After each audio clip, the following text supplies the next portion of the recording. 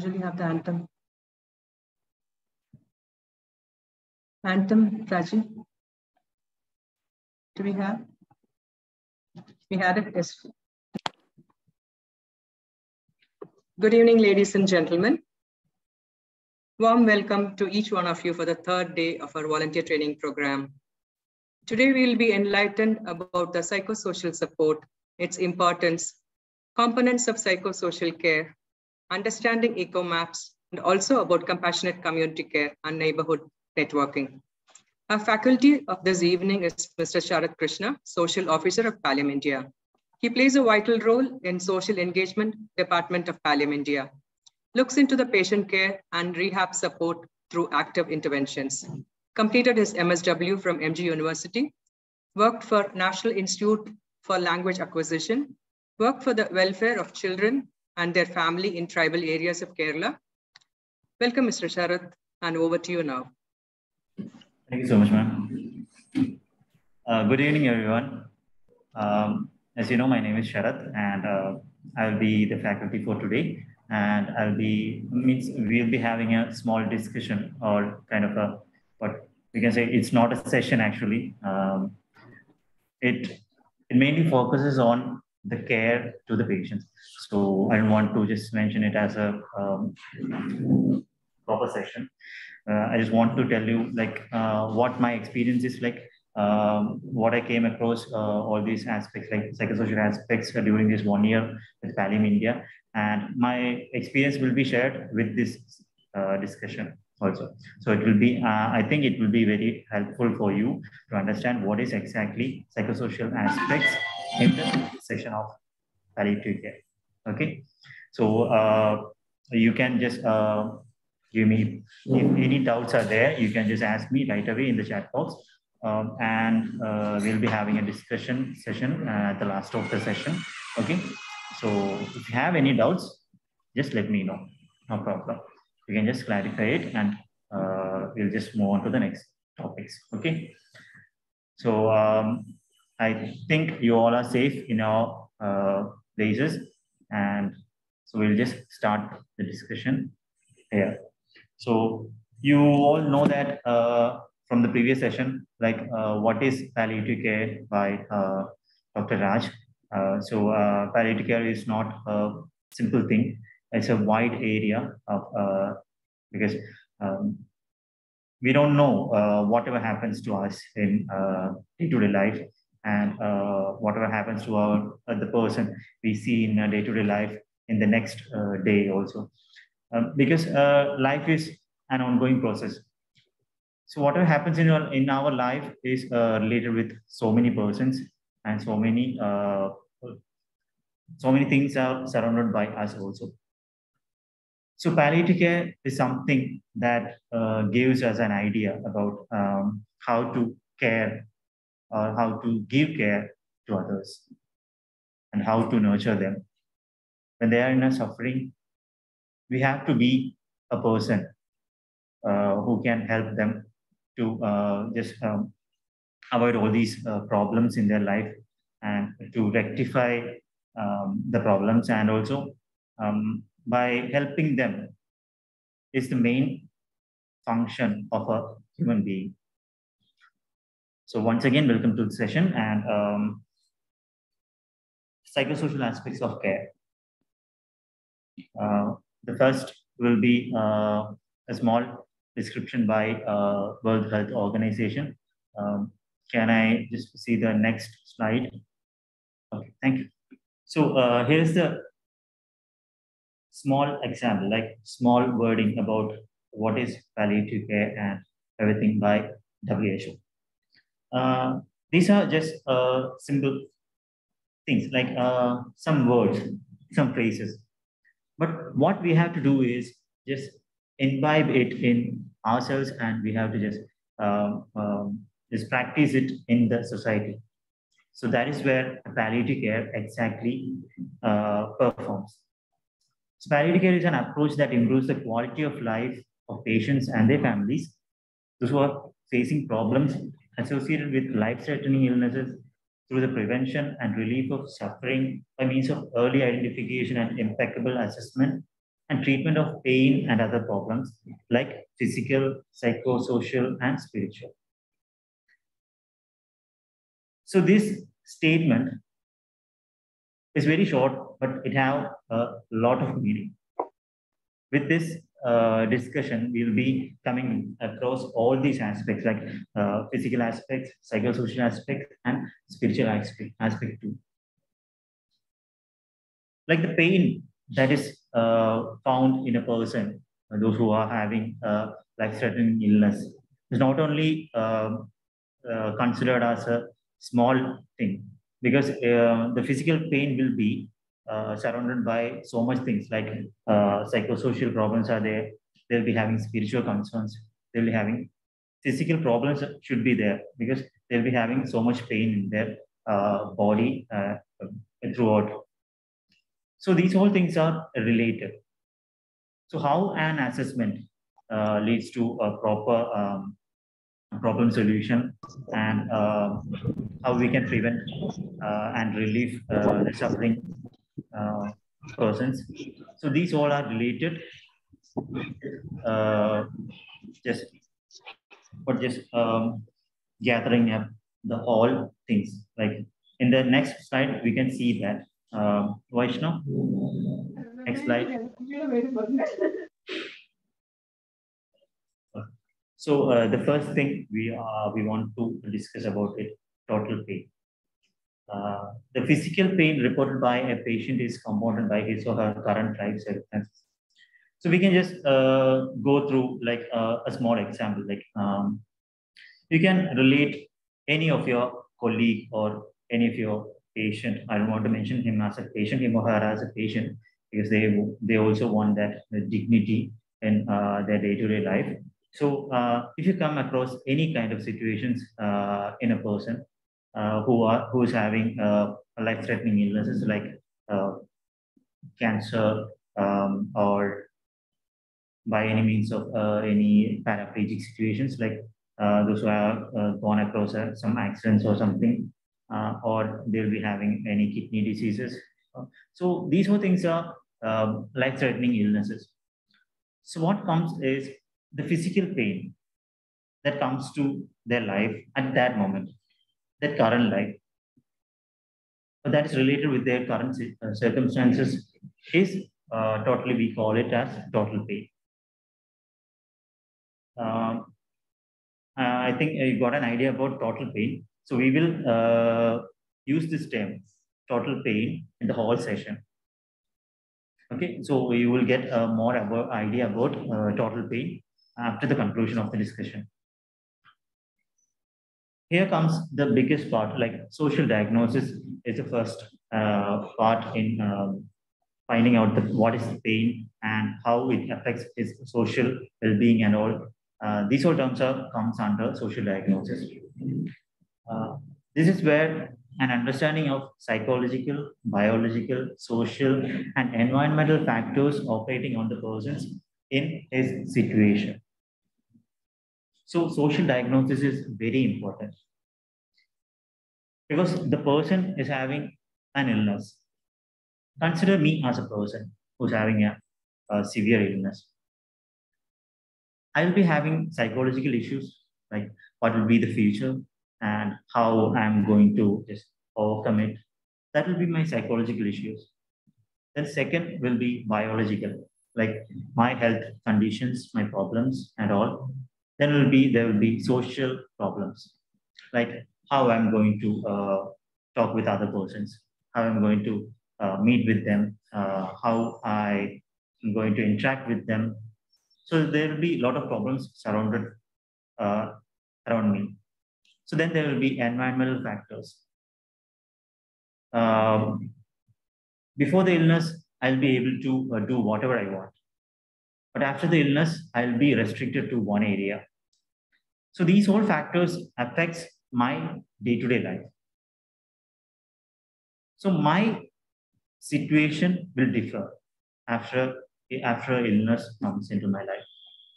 So through a social diagnosis, it will be very helpful for us to find out what is the exact problem and how we can rectify it.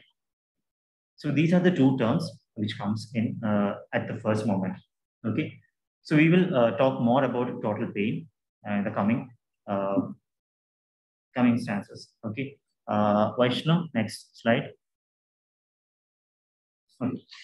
So illness-related suffering is much more than just physical distress. So what I told you in the previous one is exactly this. My total pain. Uh, I want you to consider me as a patient and uh, this is for an example. And my total pain will be um, calculated by my physical problems, psychological, socio-economic, and spiritual. Uh, I have mentioned in the previous one like environmental and social problems. So these uh, these things comes under socio-economic problems. Uh, we all know that uh, in socio-economic problems, uh, when a disease comes into your life, you'll be um, like it's curable and non-curable diseases are there. So if it is not curable, you have to pay a lot uh, in the form of uh, treatments for medications and everything. So it will affect your socio and economical factors too. So this is where uh, comes socio-economic uh, areas. Okay. So next slide. So why is psychosocial care important in palliative care? You can think of it. Like why is psychosocial care important in palliative care? Because we can just give him what he needs. Like uh, if you just um, come across a patient or a person, uh, he's having only pain. So you can give him the medicines, medications that he needs. Mm -hmm. That's the only thing that we can do. But we don't know about the exact pain. What is he having? Let me tell you an example. Uh, when we were in a home care, we found a uh, we found a person. I don't want to mention his, his name. Um, he's having severe pains. Severe pains in the name, uh, like he's having a uh, life-threatening illness, and he's having some problems. Uh, like uh, he's having only four or five months of life. That was a doctor suggested, but he's having pain. What kind of pain? We don't know. Like he's telling that physical pain is there, but we are giving them medications, everything.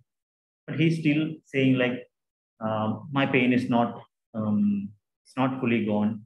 It still persists. So at that moment, uh, we just went to their home. We met with him, met with him. We had a session. We had a talk and everything. After that, we found that his physical pain is not only the pain. He's having two children who is three and five years old only. So he's having pain related to their future. Like what will happen to them after uh, my death or if uh, whatever happens to me after that, what if, what happens? So, so that was the exact concern of that, of that person. So physical pain uh, not only means that um, he's having pain very physically, it also means that he's having pain in another areas like psychologically or socio-economically or spiritually too. So this is where a psychosocial care is important in palliative care. Living with a life-limiting illness or life-threatening illness or the awareness of approaching death causes unique stressors and challenges because we will always think about not only our future, we will always think about our family too and the surround and whoever are surrounded by us, we will always con consider them. And also we, we have some duties in our life. So we will always just think about that very often. So this becomes stresses, this makes stresses and challenges in your life. And a serious illness disrupt, disrupts individuals' thoughts and feelings, relationships, social and spiritual supports, financial stability, and spirituality. So this is where a psychosocial care is important in palliative care. Okay, you, um, uh, you all got an idea? Okay. Uh, So next slide. The first basic thing in psychosocial care is assessment. So assessment is something that is to be done or uh, it is uh, it's a prolonging thing like uh, the at the very first meeting we don't know anything about that person so it is an exploration process of gathering information through a proper assessment only we can uh, come to a point where what is the exact problem is without a proper assessment we can we can't do anything the selection of goals and innovations depends largely on what is being assessed. In Pallium India, here uh, the starting procedure is the registration. After the registration, the basic details are collected. A social officer uh, or a nurse collects other information like uh, if you ask me uh, what is the exact details we collect, it's like uh, what is his exact family condition, uh, what is his family's um, family tree, uh, what is his support systems, what are his uh, problems right now, if it is economic problems or any social problems are there, or anything related to psychological problems, or any other worries are there. So these whole things are assessed with a proper assessment, with the help of a social officer, or with the help of a nurse or a doctor. So assessment is an important factor. It's a basic thing in a care. Okay. So next. Next slide. So the aim of assessment is to identify problem areas which results from illness and may influence the well-being of patients and their families. And it also involves collecting of information. As I uh, told you earlier, the collecting of information at the very first stage and identifying and honoring strengths, resources, and needs. But it is a basic thing and it is continuing process too. Because at the first time, the person will not be able to convey all the things with you. You have to make a, a rapport with them and this will take more time. Then only you can know more about that person and uh, what is his exact needs are and what is uh, his exact problems are. So these whole things can be found with uh, proper assessment and it's a continuing process. Okay. Uh, anyone has any doubts? If you have any doubts, just ask me right away, okay? So next slide. Okay. So as I said earlier, assessment is an ongoing process as the psychosocial needs of patients and family or caregivers often change over the course of illness. And the uh, two bullet points that are very important. Purposeful observations and purposeful conversations. We can start a conversation by just saying hi or uh, hello, and we just continue it. But those conversations needs a purpose. We have to be very free with them. We have to be very genuine with them. But we have to observe them very purposefully. Because those purposeful observations leads to a purposeful solution of their problems. So purposeful observations and purposeful conversation are must. Okay. So these are the two things you have to remember when you conduct an assessment. Next slide. So next one is source of information. How we collect information.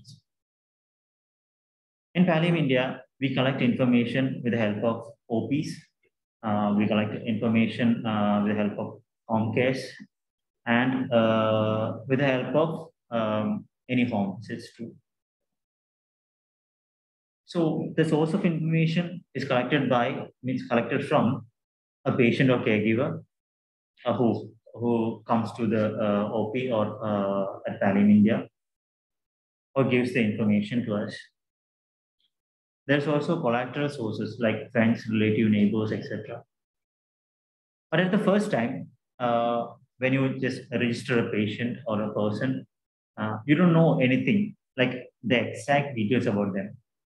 This is where home visits are making a crucial part of, for interventions. As you can see those two pictures, these two pictures are not a random pictures. These were shot uh, when we visited a person's home. So the, in the first picture, you can see it's a, a rock paved path. It's very slippery, and the patient was a paraplegic patient. And uh, the second picture you can see, it is uh, not a well-built house. So here, his current circumstances, like his socio-economic circumstances are very poor. And he has not any accessibility to, uh, uh, when he want to go to hospital visit or even he, if he wants to just uh, go in his wheelchair or something, there is no access to it. So with the help of a home visits only, we can know about uh, these kind of things. So this is where um, home visits are very important. The source of information can be collected by these three sources. Uh, we have to know about the collateral sources also because we can collect the information from his friends, his relatives, and his neighbors too, because they all know more about that person. Next slide. Oh, this is the case study. So you have to just read it, okay? Uh, and uh, we'll be having a discussion about this. And you can tell me whatever we can do or we can, uh, what we have to uh, collect from it or what are the information you can gather from it, you can tell me. You can just put it in the chat box. A 56 year old lady, Mrs. A, has been diagnosed with CA breast in 2016. She had undergone mastectomy, that means breast removal surgery, referred for pain management. She looked very anxious and had no idea about palliative care at first. Uh, comorbidities were there like diabetes since 12 years, coronary artery disease, fracture on leg due to fall in 2019. She's a widow and her children are having a hostile relationship with her, lives alone in a rented house. So this is a case of a person. Uh, we can just simply call her as Miss A, Mrs. A. So this is her story, or this is her case study. So you can just go through it, and you can just we we'll be having a discussion for this in the later session. Uh, have you gone through gone through this, everyone? Okay, uh, next slide. Okay, from that thing, how an assessment is made is given. The first thing will be the patient overview. The patient is a 56 year old lady she's having breast cancer. And also we can gather the information. A patient overview will be collected.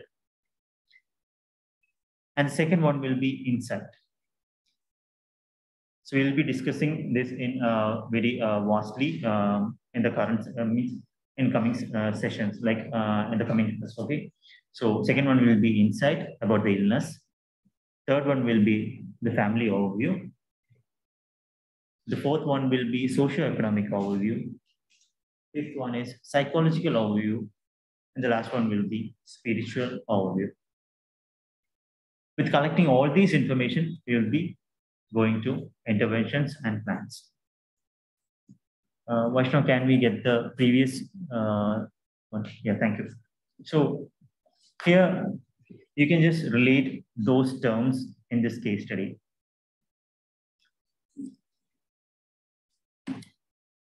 Like what we have gone through is like um, patient overview was there. So you can just relate it here. 56 year old lady, Mrs. A, diagnosed with CA breast. And she had undergone a mastectomy, referred for pain management. That will be patient overview. Then uh, there are comorbidity, comorbidities. That, is, uh, that comes under uh, patient overview also. Then there is insight. Uh, I'll tell you about more in uh, next one. Insight about the illness.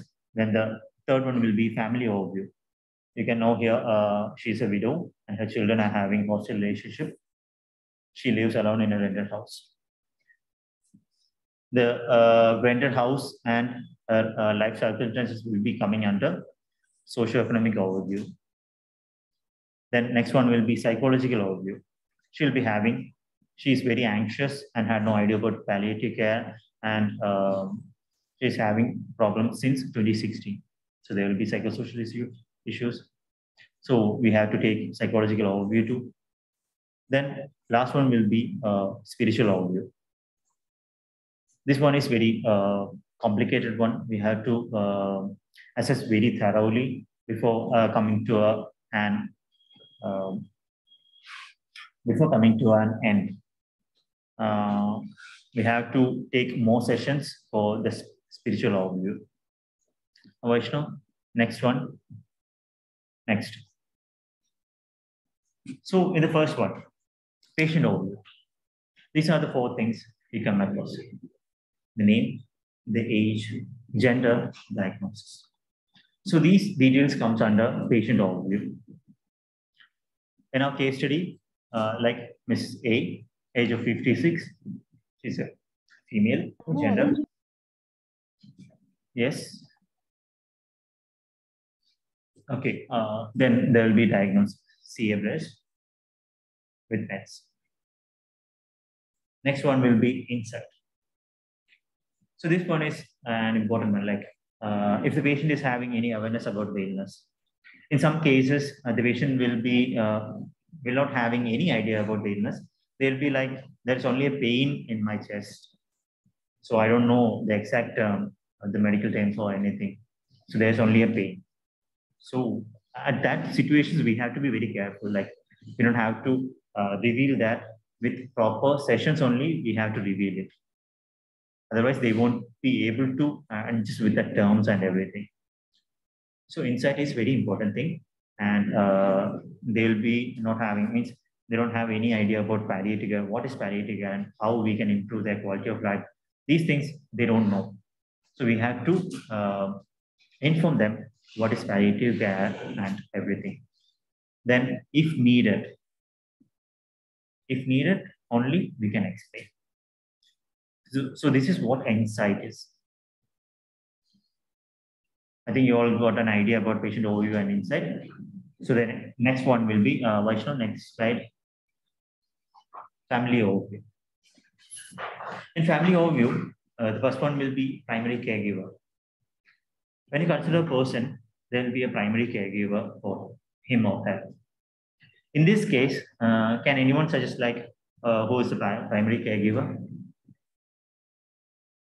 Anyone? Uh, can I ask someone from this list? Um,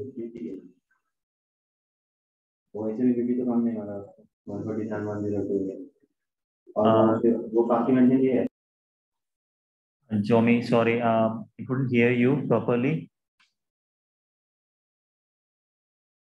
Okay. Um, uh, Leishram, um, can you just tell me who is the primary caregiver? It's not a, questioning session or something. I'm just asking. Uh, I think primary caregiver is uh, the hospital who is treating her because hmm. family relations are not good. Yes, thank you. Thank you. Yeah, that's a correct one. Like uh, in in this case, in this particular case, there is no primary caregiver actually. So uh, what we have to mention is like, if there is any relative, we have to find it. If there is any relative or any person who's very related to him or her, uh, we have to find them and we have to just inform them what is exactly going through them. They are living alone in their uh, rented house. So we have to find out and primary a primary caregiver because if anything happens to uh, her, we have to inform them. We have to just um, uh, take um, the uh, consent from them. So there are so much things related to the patient too. So a primary caregiver is needed. In, in some cases, there will be no primary caregivers. Uh, we will be uh, taking the responsibility uh, for them in the medical uh, areas too. Okay. So the second uh, point will be support system. When you consider the case study, there is no proper support system for her. Um, she's living alone and uh, she's having a hostile relationship with her children. And third one will be structure of the family. What is the exact structure? She's a widow and she's having children. So that is the structure of the family. Then nature of relationship. So hostile relationship is there. So there is no proper relationship with the family members. Then genogram. Uh, genogram is uh, basically we call it as a family tree. Okay, so this is family overview. Uh, we will come to uh, like uh, what is genogram, nature of relationship, and structure of family and support system in the coming slides. Next slide. Okay, this is a basic genogram. And with, uh, with this genogram, we can have an idea about uh, the nature of relationship. Um, thank you. Okay, so you can uh, see here, like the one in the center that is denoted by a circle and uh, shaded lines is Mrs. A the person who's suffering from the illness. So she's married to Mr. A, who's denoted by a small square, and it's been marked with a cross. The cross means that person is no more. So she's living alone. That is why that circle around Mrs. A. Okay, Mrs. A is having uh, two children, Mr. C and Miss D. Both are married and both are living in their respective homes. Mrs. A is not only the child, she's having a brother too, Mr. B, who's also passed away. And Mrs. A's parents too passed away. So now she is living alone. So that's why there is a small circle around Miss A. So this is a basic genogram. And here you can see a small red lines. What exactly that red line means, we'll come into that in the next slide. Vaishnav, next slide. Okay, here you can see it properly. Those lines denotes uh, if it is a black straight line, it means plain or normal relationship. If it is a green line, it is intimacy or very close. If it is very, uh, there is a friendship or close friendship is there, then you can just uh, denote it with uh, dotted green lines. Then hostile or conflictual relationship is there. Uh, previous slide, please, uh, Vaishnav.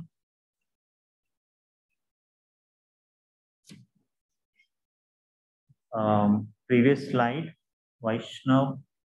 Yeah, thank you. So here you can see uh, Mrs. A is having uh, hostile or conflictual relationship both the children. That is why it is denoted by small dotted red lines. Okay. So there is also a red line between Mrs. B and Mrs. A. That means there is no proper communication with them. Okay, next slide, Vaishnav. Okay. Here you can see uh, zigzag lines are there. Uh, so uh, that means uh, violence. And next is uh, blue lines, zigzag, zigzag lines. It's emotional abuse. And uh, if it is dual lines, then it will be sexual abuse. If there is a neglect or abuse happened here, you can just mention it with dotted blue lines. And the arrow means that for whichever person the neglect is happened, you can just mention it. Okay. If you have any uh, doubts, you can just um, put it in the chat box. Okay. Okay. Uh, next slide. Next one will be EcoMap. EcoMap is uh, depicted by Ann Hartman. Uh, it is a pictorial representation. It helps us to visualize social and personal relationship of individuals with the environment and with the larger society. Um, these are all uh, just um, just meaningful words, but you will know very uh, deeply by the next slide. Uh, can we go to the next slide? Yes, here. Excuse me, uh, yes, uh, this this uh, Sharath, there's one uh, question from uh, uh, Abhijit Mandal, he is asked whether genogram and family tree same or not. So if you go to the next, I thought you can answer this. Yeah, sure, ma'am. Geno ma'am. Genogram and family tree same or not? Ma'am, genogram and family tree uh, are both the same uh, in uh, different uh, scenarios. Like in a European and Indian culture, we just uh, give them different names like family tree and genogram. Uh, Yes, ma'am. Okay. Uh, this uh, Varsha has asked whether last line, please explain again. Which last line, Varsha, please can you specify? Last line of what? Which one? Varsha, you can just unmute and ask. Yes, Varsha. Geogram. Geograms you explained just now, no? That last, yeah, last line. Yeah. The dots. That arrow, arrow you had shown. Okay. That okay. I didn't the picture, it. the picture uh, okay, slide. Okay. Exactly. That, that's, sure, yeah. sure. Okay. Okay, uh, Vaishnu, can we go to the, uh, go back to the previous slide? Uh, next one, previous one. Okay. Uh, in the last one, there is a uh, dotted lines, means neglect. Neglect happened in the family. Okay. Okay, thank you so much, sir. Yeah, sure. Okay, uh, Vaishnu, can we go to the next one? Okay, thank you. So here, you can just see here in the center, there is a family unit. This family is surrounded by so many uh, large societal factors. So these are all these all are related with the family. This all makes the family complete. Like we can we can live in a society where um, uh, we didn't get any kind of help or any kind of support from any other sources. We have to get help from any other, any sources too. So firstly, this family, when we consider this family, at the start, we get, we get support from neighbors. Then we get support or um, we are surrounded by like workplace, government services, community services, religious institution, friends, clubs, school, volunteers, and health service. Uh, Vaishnav, uh, previous slide. So this eco map is a snapshot view of important interactions of patient family with other systems. That means groups, extended family, individuals, organization, association, etc. So EcoMap helped us to find how they all are related with this family. So I'll give you a proper example in the next slide. Uh, Vaishnav, next slide. Yeah, here when we consider Mrs. A, this is her eco map. She gets support from public health center. The support she gets from public health center. That's why the arrow is uh, formed towards Mrs. A. Okay. Then she gets support from church. She gets good support from palliative care. She's having a neutral relationship, means support from panchayat. But in the case of neighbors, there is not such a thing. There are only dotted lines. Means there is a help getting from them, but it's not in a fully way. Like um, in public health center, church, palliative care, and all, there is a proper line. So that means she gets help or support. But in the case of neighbors, there is not such a line. That means the support is limited. Okay. okay. So shall we go to the next one? Okay. Socioeconomic overview. That is the fourth one. With the help of socioeconomic overview, we can get an idea about uh, who is the breadwinner. Uh, in Mrs. A's case, uh, there is no primary breadwinner. I think like um, she's uh, staying alone and she's not having any kind of job or something. So in some cases, uh, in every cases, when we compare our lives to, there will be a breadwinner in a family. So we can find out, or uh, we can get um, an idea about what their family exactly con- means contains of like uh, if who who is helping it or uh, who is the uh, exact member who's having a job or um, who helps them. So that all things comes under breadwinners. Then other source of income, if they are, having any kind of uh, other income, like in Kerala, we'll be having cattle. Also in every places we're having uh, cattle, cows and all then we'll be having some lands or cultivation or farming or anything or any other kind of sources of income. Then community support, if they are getting, uh, in the eco map, we also uh, uh, had a, a, picture like organization, any help, uh, help from uh, public sectors like health care or palliative care or something. We can also uh, write that down in the community support sessions. Then uh, government schemes uh, in here, like um, a disabled person always gets uh, pensions from government and the caregiver too gets pensions. And these all can be written down for future use also. And ration card, what is the ration card? In Kerala, we're having three or four kinds of ration cards. Um, uh, according to their colors, they differ like um, uh, there are white, blue, yellow, and pink. So these all are uh, related like um, their economic status, uh, how they are in a society. Uh, if they're having well-balanced uh, socio-economic balance in the family, then they'll be given um, uh, a proper color of ration card. if they are very poor, then they'll be getting an yellow one if uh, their socioeconomic status is above that, then they'll be uh, given pink one, then uh, the white and blue are there. So uh, ration card uh, collection of like um, getting the information about the ration card is also very helpful to assess their situation. Then debts, if they are having any debts related to their um, treatments or uh, any loans or something are there. So these all are uh, these all are comes under debts. Then other financial vulnerabilities like loans or something. Uh, these two are uh, interrelated debts and other financial vulnerabilities. So socioeconomic overview is this, like breadwinners, other source of income, community support, government schemes, ration card, that's other financial vulnerabilities. Okay. So next slide. Next one will be psychological overview. Uh, the first one will be grief. The second one will be depression and anxiety.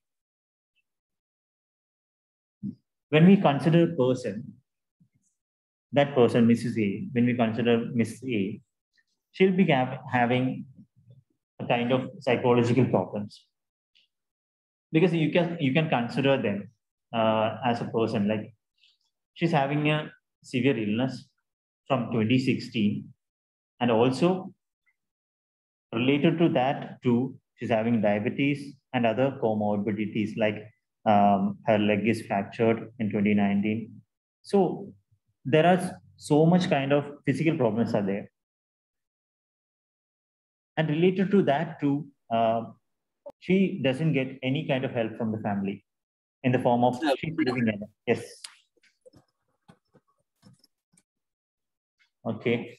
Okay. So um, with all that problems too, she doesn't have any support from their family members.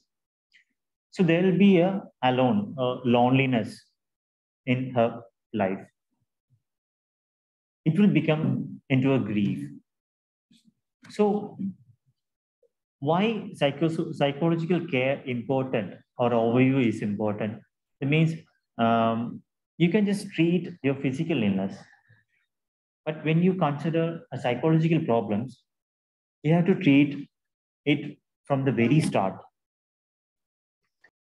You have to eradicate it from the very beginning, or we have to just um, thoroughly check it. Because small, small problems leads to bigger ones. They'll be having like anxiety, depression related to their illness too. So this is where uh, I want to give you a small example about this. Uh, in the first, uh, in the very first start of the session, I have told you about total pain, a, a patient's story, like uh, he's having severe illness and all, and uh, his pain is never ending. So we given him uh, medications and all, but he still says, "I have pain, I have pain." But after proper assessment, we know about his exact pain that is related to his children. So here, the pain was psychological problems, like the grief or thinking about their future. So this is where psychological overview is very important. So next will be spiritual overview. Uh, this is um, thank you. This is very uh, vast subject like spiritual overview. Uh, when we consider this, we don't have to like I'm not a person very much uh, into like uh, talking about spiritual overview very vastly. Uh, like if we if we are going to talk about this, we'll be ha- we'll need more sessions for this. So I'll just give a small glimpse about spiritual overview. First one will be meaning of life. Like when a problem happens into our, into our life, we'll think about my life has no meaning what will I do after this? What is the purpose of existence for me? I don't have any hope. Why me? What? Uh, why it happened to me? There will be a no in every situation because we are physically very ill. We are not able to do whatever we have done in the past, and we know that we, we can't do it in the future too. So this will lead to like why this happened to me? I haven't um, given anything. Like uh, i haven't just threatened or or just i don't i don't treated anyone as very badly or i haven't done anything wrong to any other persons. Then why it is happening to me? That is a thing that is a thought that comes to your mind uh, after you be uh, affected by uh, illness. It's like when you just, you can just uh, relate with your life scenario. Like if you met with an small accident, small accident, just only a small accident, uh, your leg is just got fractured, then you'll be thinking like, I was just going in a very um, safe manner. I was using helmets and uh, I was not not very overspeeding, and all of a sudden it all happened, and now look at me, I'm just lying on my bed, and my leg is fractured. All of a sudden, we will think about like why it happened to me. I was very cautious. I wasn't hurt. Uh, hurt. I didn't hurt anyone. I wasn't rash driving, but still it happened to me. So for that small thing, we think about we think in that situation like that. When uh, an illness a life-threatening illness comes into our into our life we'll be having these kind of thoughts very uh, very often. And today also uh, i just want to share a small example with you uh, in today's uh, home visit. I met with a person who is paraplegic. And um, he married a woman at the age of 19. Because uh, at that age means the girl's age was 19. After that, uh, they had two babies. Um, now, like, they had a good uh, relationship or good life to 10 years. It was a 10 year relationship. All of a sudden, he just went to uh, buy something, and on the way, uh, he met with an accident and he became paraplegic. And after one or one and a half year of treatment, he's now just uh, walking with uh, with the help of a tripod, like not a tripod, sorry, uh, with the help of a ramp. Uh, ramp is where uh, you can just have a small um, steel plates fitted in your um, in your room, and you can just with the help of that you can just walk. With only with the help of only that you can walk, and using um, braces means in your legs, and he's just walking with that only. And all of a sudden, he just uh, asked us, like, uh, sir, um, can you tell me how, means, if I'm able to walk? He said, don't worry, uh, with proper uh, physiotherapy and all, uh, it will improve. We know that uh, it won't be treated. But after one and a half year of treatment, he had a feeling like now I'm able to do this. So I'll be able to walk in one day. But all of a sudden, he just uh, vented out with emotions and he just cried in front of us. And he just had a, a words like, so I was very um, truthful to my wife. I was very caring uh, for my children. And I was very honest. And I haven't spent any of my money in liquor drinking or any kind of other substances. Then why it is why it happened to me? That was the first question uh, he asked with us uh, during that emotional elevations. So these questions arrive in our life too. When a problem arises in our um, life, we also have these kind of questions. So spiritual overview is very uh, vast one. We have to deal it with uh, proper uh, guidance only. Uh, I'm still studying on spiritual overview, like uh, how we can uh, just give them hope and all, and how we can manage it. And I'm also studying um, that. So um, um, I think you got an idea about spiritual overview. Uh, so should I just go to the next one? Thank you. So now just let's discuss what are the important areas to be assessed from the point of view of total pain? These all are the things I just mentioned in the previous one, like uh, starting with patient overview, insight, family overview, socioeconomic overview, and um, like psychological overview too. So what are the important areas to be assessed from the point of view of total pain? Can you suggest it Anyone?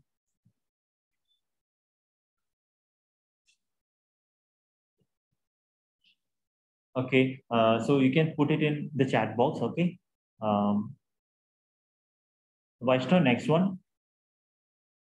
So this, with the help of that case study, uh, we'll come to a point like, what is total pain? when we consider these four things like physical, psychological, socioeconomic, and spiritual, These are the four areas which is the core of total pain. In physical one, the physical one, uh, physical pain will be the extreme one. Then there will be fatigue, lack of sleep, difficulty in walking, body image issue will be there. And I, I want I want to just mention one more thing. Um, in the in today's visit, uh, he was the uh, the person was asking me like, I want to go out.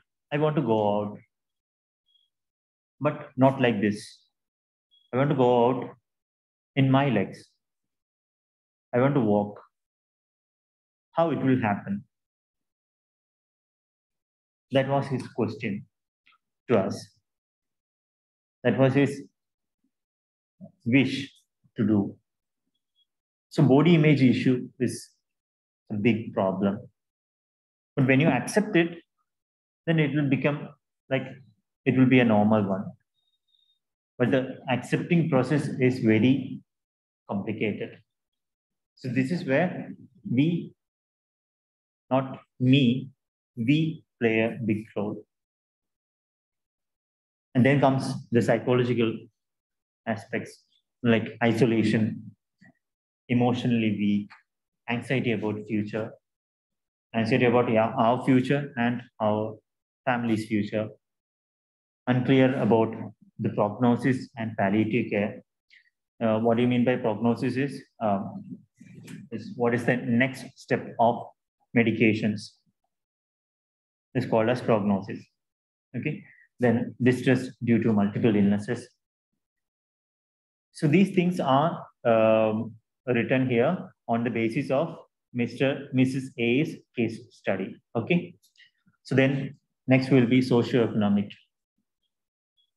Here comes strained relationship with family, unable to go for job due to the illness, financial instability, house rent issues, low accessibility to hospital because you uh, just had that image in your mind, like the stone paved path, then absence of caregiver and support system. So these all comes under socioeconomic. Then the last one is like spiritual. Extreme spiritual distress. Why all these sufferings? Lost faith in God, loss of connection with family, no significant person in life, no memorable or joyful events in life. So these all things can be sorted to an extent, not fully, to an extent, with the help of proper psychosocial care. So next slide, Vaishnav. So next one will be possible social impact. I will come to you, uh, come to the uh, continuation of the previous slide in the coming slides. Okay. So next one will be possible social impacts. First one will be social isolation. They will be having no contacts with others, like uh, their house is situated uh, very alone, uh, very standard. And so due to that, there there will be no communication with others. The person who are having any communication will be us, the persons in palliative care or in health care profession. So then dependency, they'll be very dependent to others.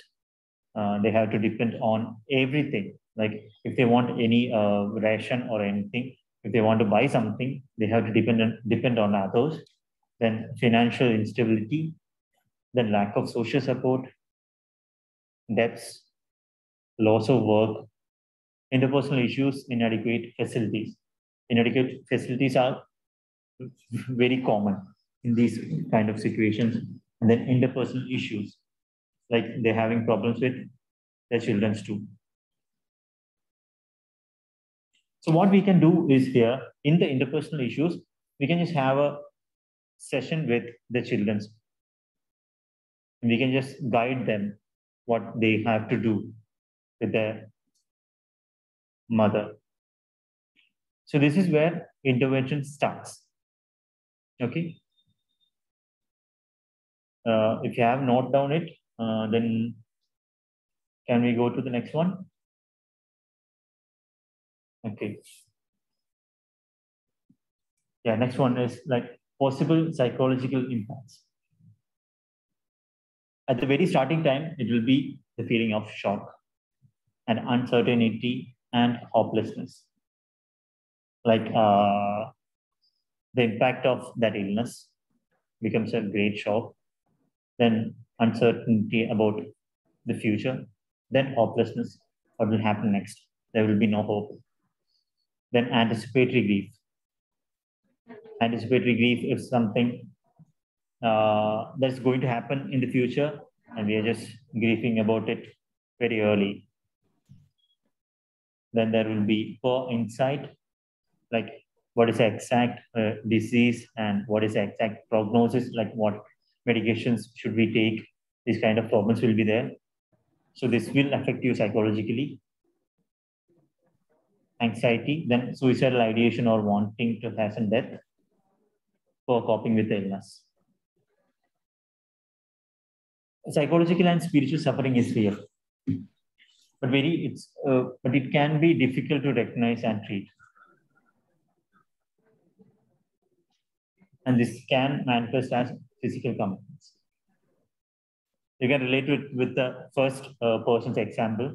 Like uh, at first, we uh, we just had like physical complaints were only there, but after proper interventions and um, study, we found find out when they they are having psychosocial and spiritual problems.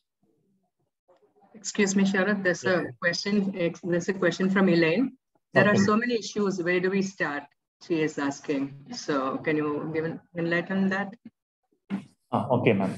So there will be so much issues in the life of a person.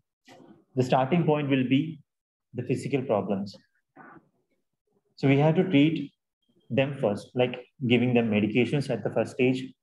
Then we have to explore more about the psychosocial problems. We have to address, uh, we, we can't address every uh, problems at once. It is a step-by-step -step procedure. so, so the first one will be physical one. If physically the person is fit only, then we can do help or we can just intervene in their life. The second one will be psychological aspects, then socioeconomic, and then spiritual. It will go like that. Okay. Thank you, Sharath. Yeah, sure, ma'am. Okay, next one uh, um, will be like suicidal ideations or wanting to hasten death.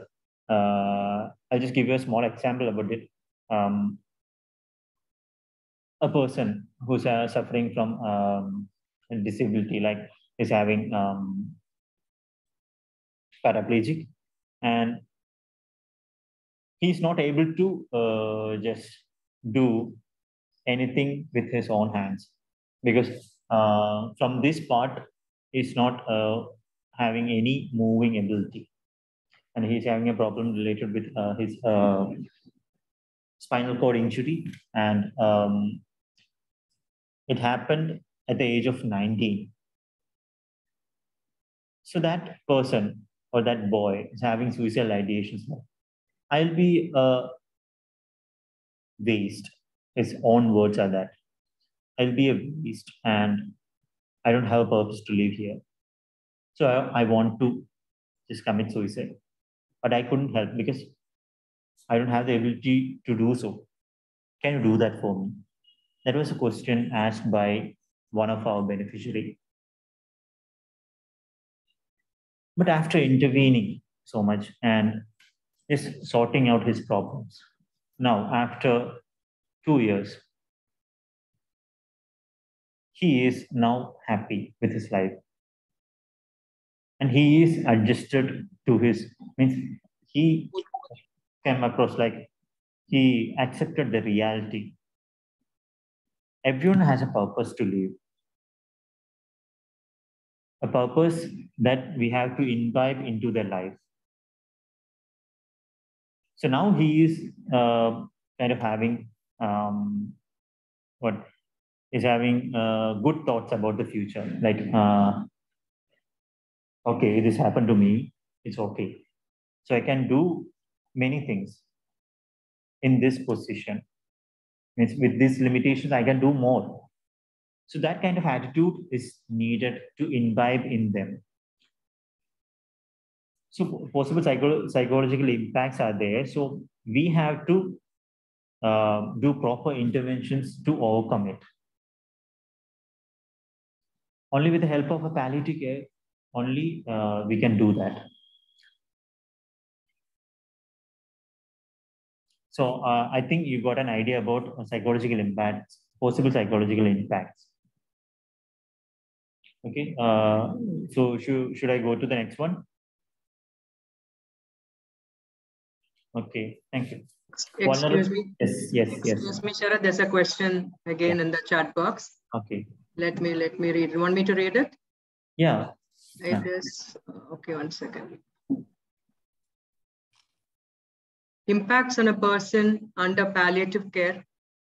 Can uh, counseling be given to them by anyone who had undergone palliative training or only professionals like psychologists and social workers? I, did I read the full question? No, one second. Sure, ma'am. Is that the question? Uh, is, should, is that okay. Yeah, okay? Should I answer it? Yeah, please. If you can now, then. Yeah, okay. Uh, actually, the question is very, uh, very uh, good one, actually.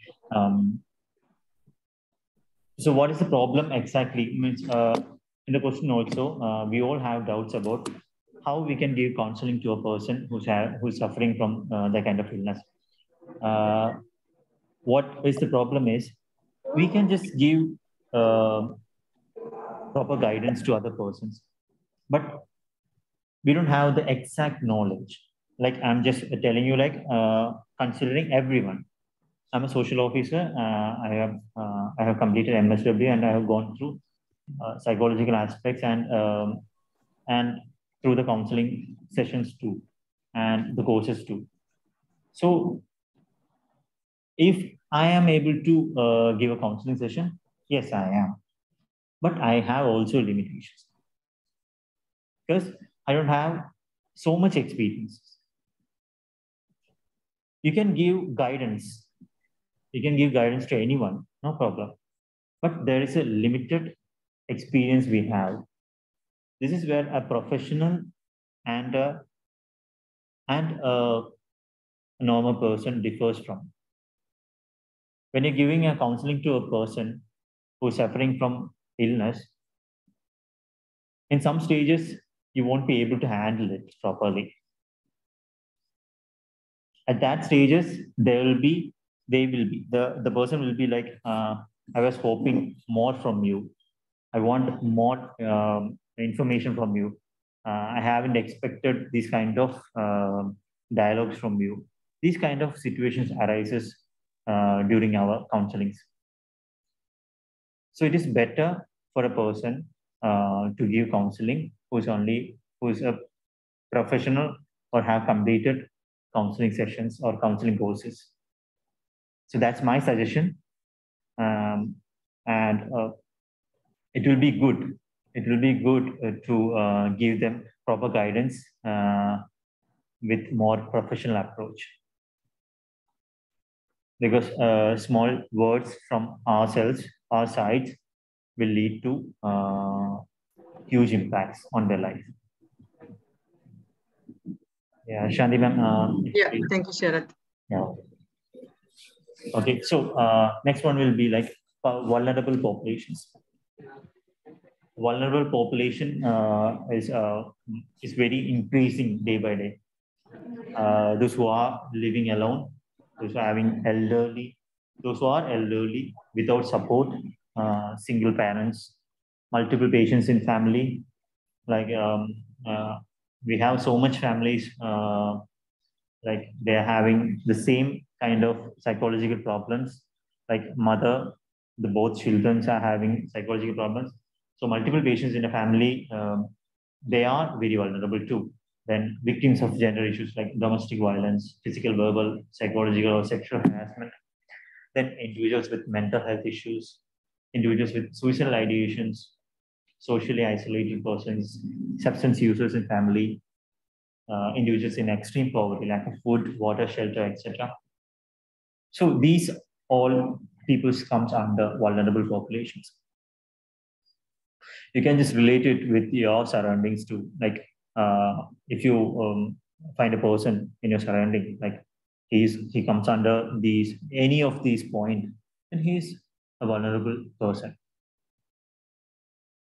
Okay, so vulnerable populations need uh, more care and um, uh, more help from our side too.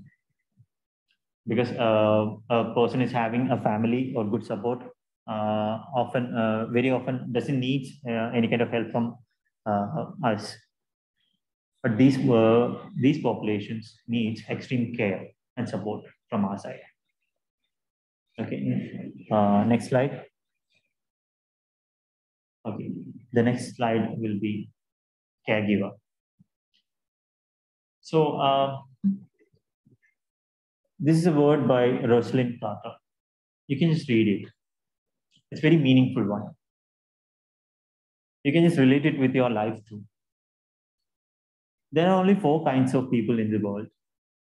Those who have been caregivers, those who are currently caregivers, and those who will be caregivers. And the last one is those who will need a caregiver. Like everyone, our life is a changing one. At the first time, we have just um, be with someone uh, who needed care, and uh, then now we are just taking care of someone and it will be like we are now caregivers. At a point of in our life, we need caregivers too. So that is what depicted in this beautiful words by Rosalynn Carter. So respect those individuals and acknowledge their complex role. Uh, sometimes uh, when you just visit a home, um, there will be caregivers. Like uh, if the mother is having some problems, um, so uh, the daughter or son is taking care of him or her, him or her. So at the very first visit, the persons like the caregivers will be not very um, free to talk. They'll be having their own problems and they'll be just taking care of them too. But at the first time, uh, the first glance, uh, we will be prejudiced like, look at him. What a person he is. He's just taking care of her like this. It's not proper but we haven't came across what is his or her life circumstances. They'll be having complex roles in the life. They, um, that person, the caregiver will be a father of two children, or the caregiver will be uh, the breadwinner of the family. He'll be having so much psychological problems too. So never, uh, ever, just um, didn't get acknowledged uh, their complex role in the life of uh, that person. And also never dehumanize them by calling them calling bystander. They are caregivers. They are giving care uh, without having any remuneration. So uh, this is a, a very important term in palliative care, caregiver. It's an important word. So next slide.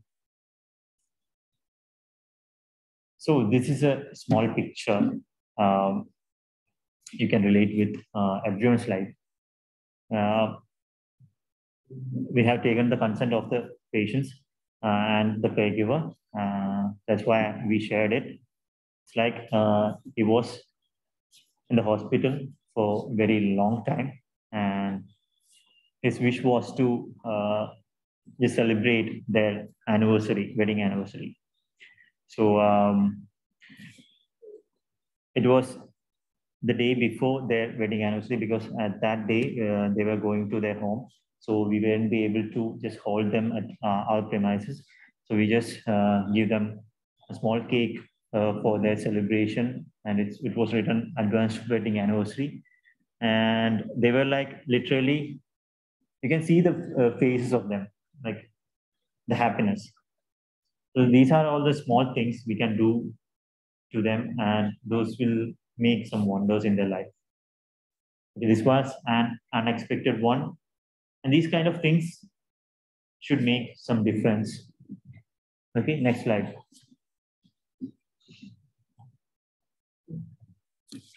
Next one will be uh, after all this, like uh, we can uh, come across assessment, started with assessment, and we included so many things like uh, psychological aspects, uh, socioeconomic problems, uh, spiritual problems, um, and psychological, everything. And I have mentioned one thing in the first first slides, like uh, purposeful observations leads to purposeful interventions. Yeah, you can see in the first window, Rahila Makabi, hi to those children who came from school. Okay, good. Okay, uh, so at the first time, uh, I have told you about this and uh, interventions leads uh, with proper, uh, sorry, uh, with the proper interventions. Sorry, with proper assessments only we can um, get into proper interventions. For proper interventions, like providing information listening, facilitation, rehabilitation, bereavement support, follow-up, supportive counseling, psychoeducation will be happened, okay, with proper interventions only. Uh, I'll just start with the first one, like interventions with proper providing of information will be given, like uh, we can just give them proper support uh, with proper uh, purposeful observations only we can do that listening is just um, relating them with the sources. Uh, if they need any help of uh, from the government or any other sectors, uh, we can be a, a, a medium of contact between them. So then facilitation of that resources has happened with proper interventions. Then rehabilitation has happened through this and bereavement support. Uh, if anything, any uh, uh, problems happen in their life, then uh, after the uh, demise of that person, we can give them proper bereavement support for coping up with the emotions and all. Then follow-ups are needed. Follow-ups are very important because with only proper follow-ups, we can know about their current problems and all. Then only we can just intervene into that. Okay, then supportive counseling if there is any supportive counseling is needed, uh, as uh, you asked in the previous ones, like um, how we can give counseling uh, with the help of professionals, we can give supportive counseling. Then psychoeducation, psychological education can be given as a part of interventions. Uh, Vaishnav, next one. Okay, here, uh, these are some examples that what we do in Pallium India. Uh, this is our uh, one step uh, towards the reality of life. Its first one will be vocational rehabilitation. Here you can see uh, the first one is the goat rearing project. Um, they have given with the proper assessment. at first, they will be get registered. Second one will be like the social officers will mm, do a proper home visit and assess the situations and everything then after uh, the authorization from uh, our, our beloved uh, sirs and madams only, we just get into the next phase, like uh, how we can help them, how uh, we have we can improve their uh, socio-economic status. And this is where vocational rehab um, plays a huge role. Like in the first one, goat rearing, and the second one is candle making and third one will be uh, the tailor shop or uh, just giving a sewing machine to the concerned person to just um, do their works and uh, earn from that.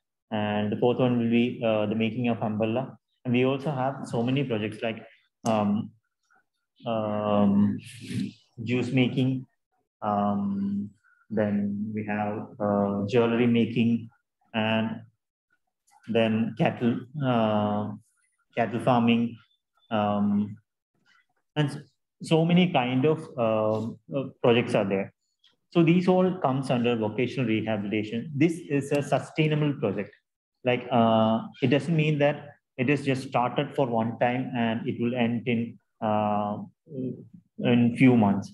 It, it is a continuing process and it will improve their economic stability and they can just um, find their own income from this. Okay, so this is one vocational rehabilitation. And second uh, is uh, next slide. Support for children, educational or emotional. Uh, here, what we do is um, we just assess all the um, aspects of their family. Like in the case uh, of, uh, in the first one also, they're having children, but they are very elder. So in these cases, uh, the children will be uh, very young and there will be no source of income for the family. And at the start of the school sessions, means uh, when the school starts, we'll be having like um, a proper form for filling uh, from the institution and all. Then uh, we'll be just verifying it with the school. And after that, uh, we will be providing educational support for them. And this one you see here is an emotional one, emotional supporting system. Like uh, we provide, uh, yes, Shanti ma'am. Yeah, there's a question from Elaine. Yes, uh, yes. I think I, I, thought I'll get back to that. So I didn't want to disturb you in between. Yeah. So after, when after you finish, then please look it up. That's what what is psychoeducation she has asked. So after you finish this, maybe you can. Yeah, yeah, okay, okay, sure. Oh, okay. Uh, here you can see uh, it is a program we conducted in our Pallium India. Uh, you can see uh, the chairs are arranged here. It was this room uh, where we conducted a small program for them, uh, for them to just um, give them proper an entertainment for them, just to motivate them to get more success in their life. So these kind of programs are arranged in Pallium India Okay, so these kind of supports are given by us. Um, next one, Vaishnav. Yeah, always remember. Okay, before that, I just want to um, uh, give a proper um, answer to the question that have been asked. Psychoeducation. Psychoeducation means psychological education for them. With proper interventions only, we can give them uh, psychological education uh, if uh, they're having psychological distress, anxiety, or anything, with the help of professionals like social officers or uh, psychologists, uh, we give them um, psychological educations. So that is what uh, mentioned in the session, like interventions, psychological education. So that's only uh, written like psychoeducation. That means psychological education. Okay.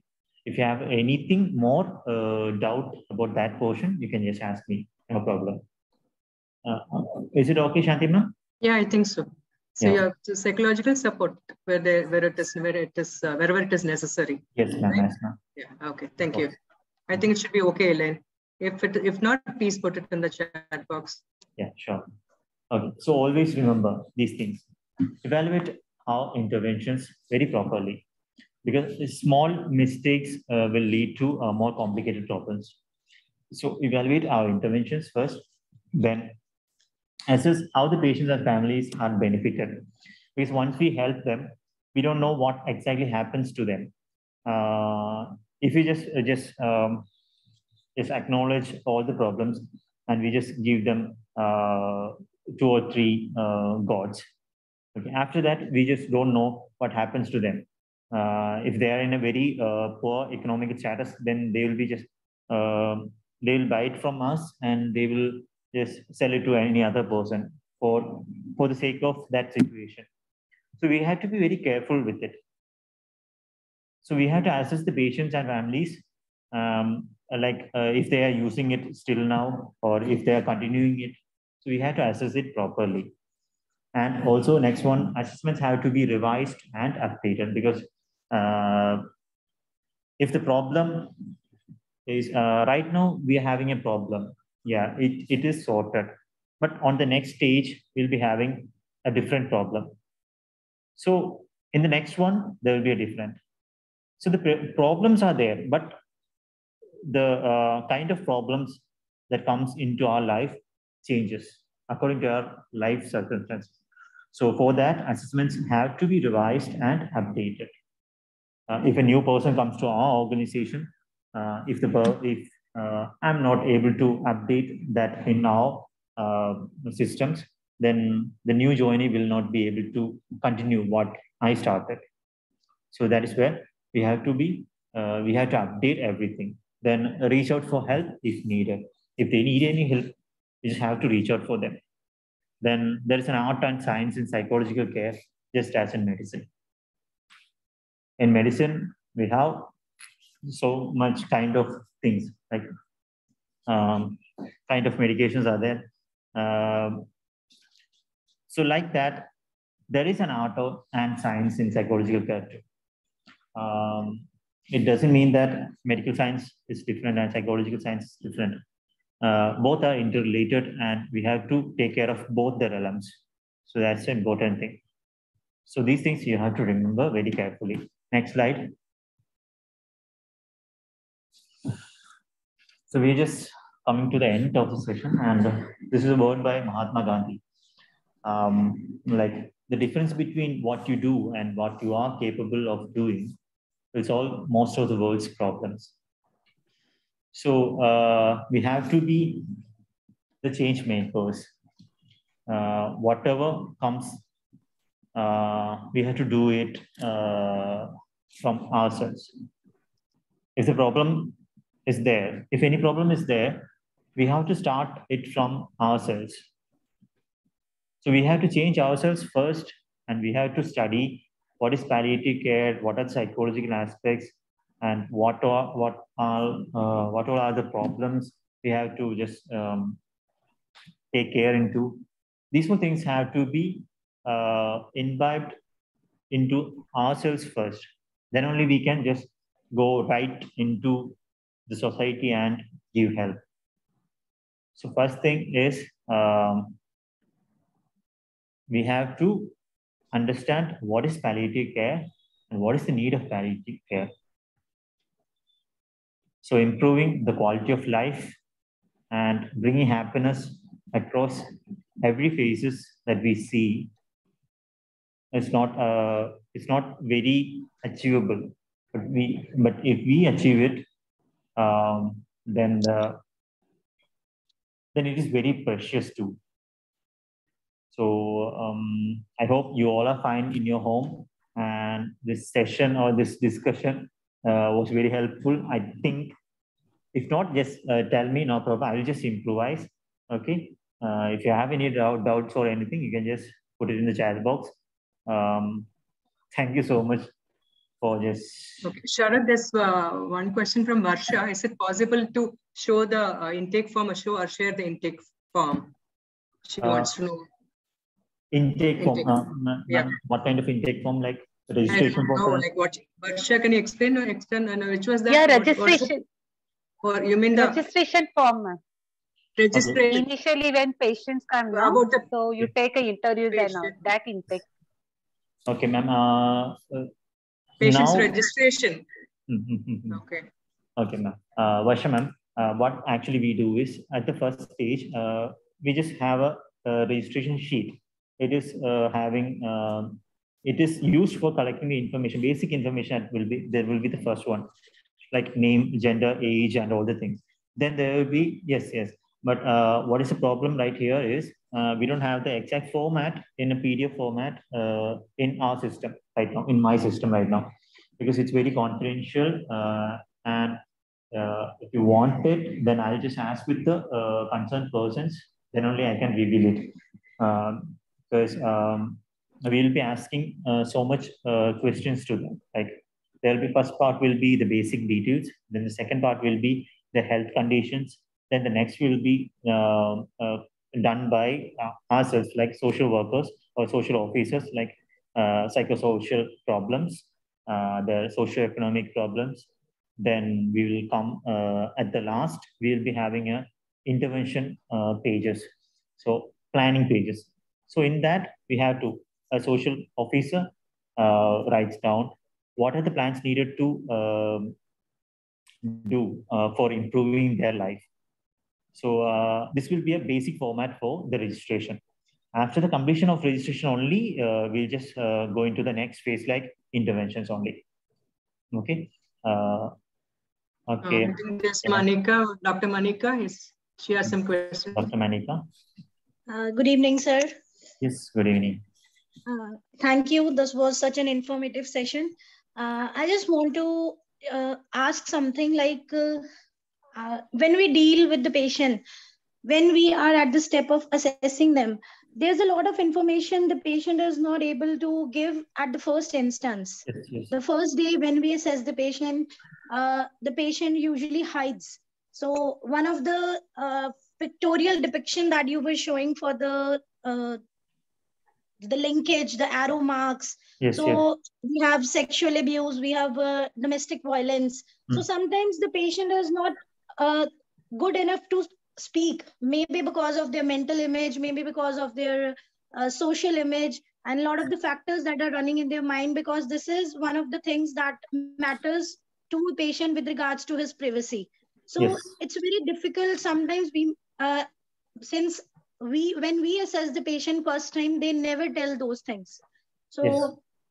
how how we should deal with these cases because first day assessment is very important like the patient discusses the things at the later stages. When we are at a week it's a week intervention or when we are treating the patient by third week or fourth week then they'll come up with the things. They'll say this happened in a family. I was a, a victim of a sexual violence. I had been a victim of a domestic violence. So they come up with the things but at a later stage. Why they are not presentable at the initial assessment since uh, according to me what i feel the initial assessment is very important Yes, and yes. the first day assessment that we are taking. So how we should deal with it? How we should uh, create a rapport with the patient? Uh, it's it's but obvious that the first day the patient will not get a good rapport with us. It will take some time.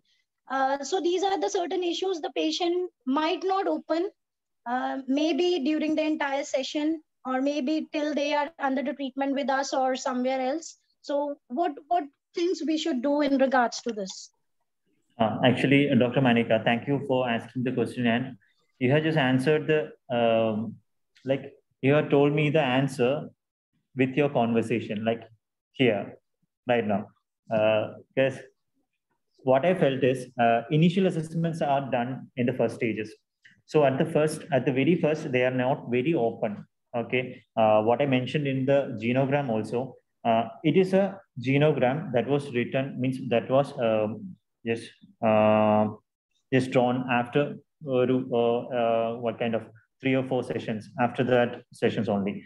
At the first one there will be like um, the the patient the daughters and their family only. We don't have we don't know about uh, the exact conflicts and anything about them. But after getting more rapport with them we only know about more about them then only we can just do uh, more things to them or uh, what are the interventions we should take. These all kind of things uh, will be made possible after three or four sessions only. So the answer lies within your question. Uh, so, so actually uh, thank you for the answer uh, manika and i think you all get a know, knowledge about that to everyone.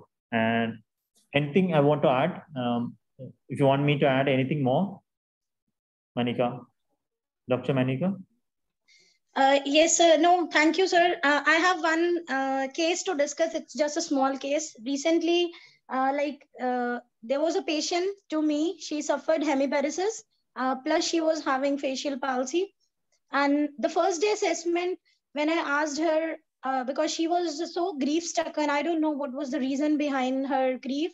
So uh, she was not able to talk to me. She was not able to attend to my words. She was not attentive. And but when i appointed an internee so she was comfortable with the internee instead of answering my questions. So i just asked her husband what is the reason for uh, that she is so uh, grief stricken so he just told that uh, she recently had a failed ivf So the girl is 26 years old and they had undergone an IVF, which was a failure for them. So that thing was just uh, sticking to the patient's grief, but still she didn't discuss anything with me. It was her husband who was a source of information to me. Uh, she was not telling anything, not attentive to my questions, not attentive to my assessment. But uh, on the basis of treatment, she was comfortable with the internee that I appointed. And later on, when she found the progress in her physical impairments, and then she improved, then she talked to me then she was uh, happy to see the uh, improvements that she had attending the sessions.